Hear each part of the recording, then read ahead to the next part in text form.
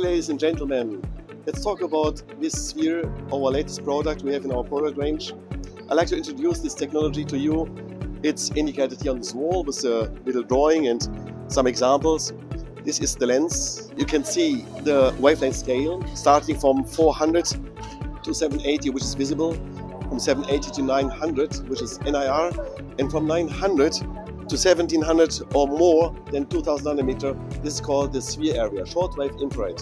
And this kind of um, uh, um, lens is made for these SWIR cameras, and this kind of uh, lenses is able to bring everything in focus, which is from 400 to 1700, 1800, 2000 nanometer. This makes a multiple, multiple or wide uh, spectrum analysis possible without refocusing.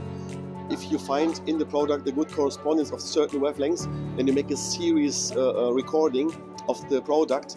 Then you can stack the images later and can weight each image uh, to bring um, as, uh, um, uh, some uh, um, picture with the biggest, with the greatest contrast.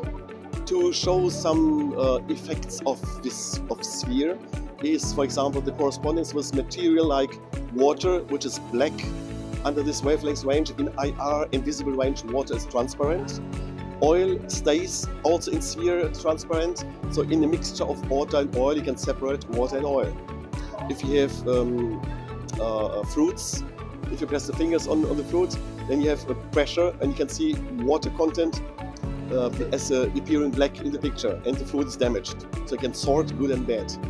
There's also possibilities uh, to, um, to, de to, determine if the production of cookies is um, uh, uh according to your specs with uh, the content of fat in the cookies. So if there's too much fat inside, it will be too expensive.